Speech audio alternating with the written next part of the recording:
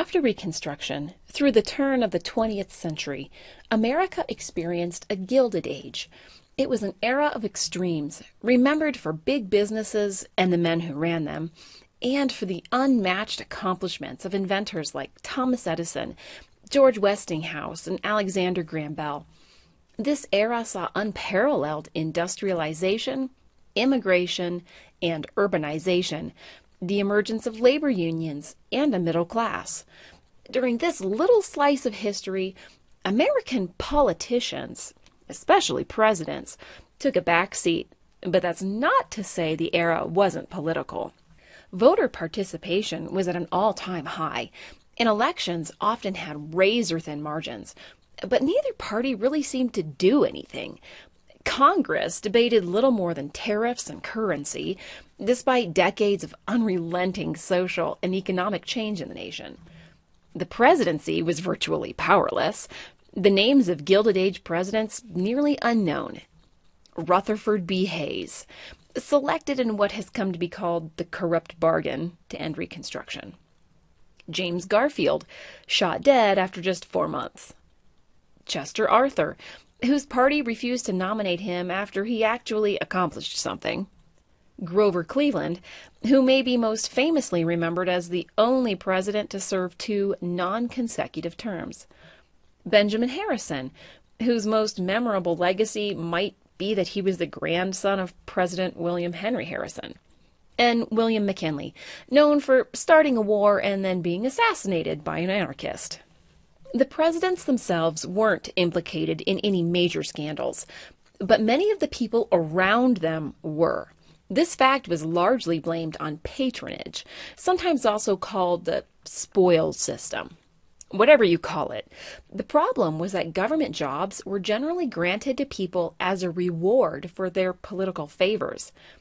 This may be why some historians go back as far as President Ulysses S. Grant in the list of Gilded Age politicians, because he ramped up the era of presidential patronage and because of his blissful ignorance of the cesspool of corruption around him.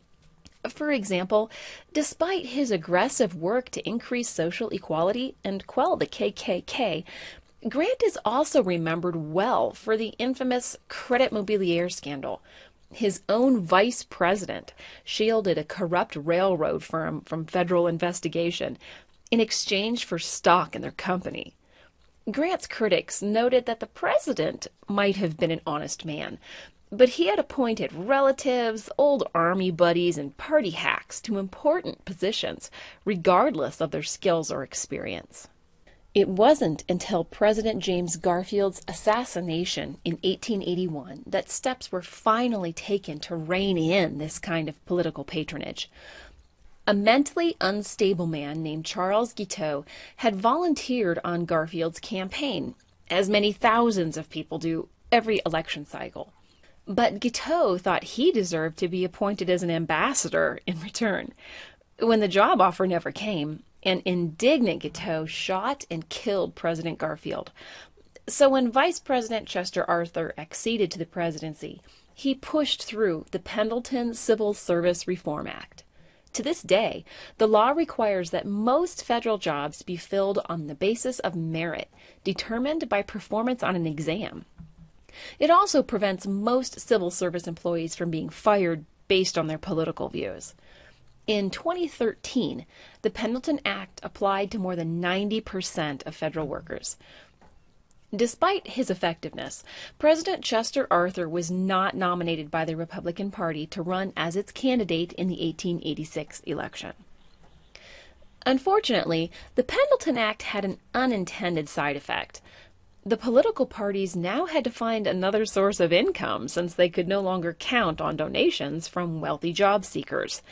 Increasingly, they turned to industrial leaders who purchased influence and assured that legislation would continue to favor big business. Frustrated farmers organized the Populist Party to advance their own agenda, but it was quickly engulfed by the Democrats. In short, the Pendleton Civil Service Reform Act officially brought patronage and the spoils system to an end in the federal government, but it did not end the corruption.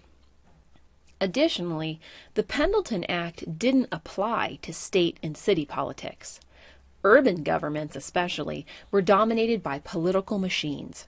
These were networks that operated in a manner similar to political parties, but rather than being focused on a platform of issues, political machines existed for the maintenance of power by a single boss or an elite group.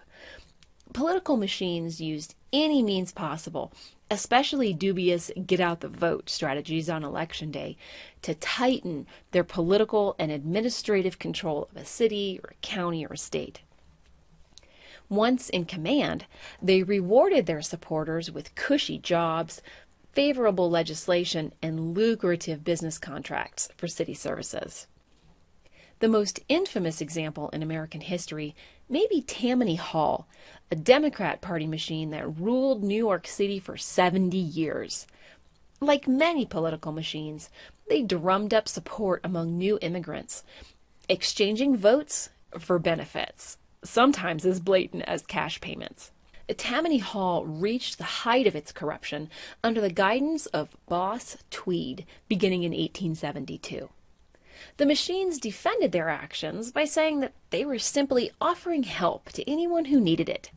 One historian summed up the leader's sentiments this way I think that there's got to be in every ward a guy that any bloke can go to when he's in trouble and get help. Not justice in the law, but help, no matter what he's done. Naturally, immigrants and others in desperate need of help would repay the kindness in votes. On the other hand, much like many other political machines, Tammany Hall defrauded taxpayers out of the modern equivalent of billions of dollars, and its members often achieved and expanded their power through criminal means. This led a cartoonist to depict the political machine as a tiger destroying America. Subsequently, Tammany Hall was often symbolized as a tiger. Let's review. After Reconstruction, through the turn of the 20th century, America experienced a Gilded Age, in which politics at the federal level took a back seat. Congress was unambitious, as were most of the presidents.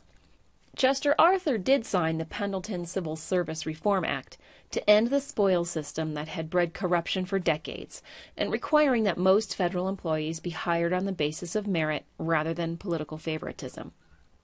The Populist Party emerged in this era, but was quickly subdued by the Democrats.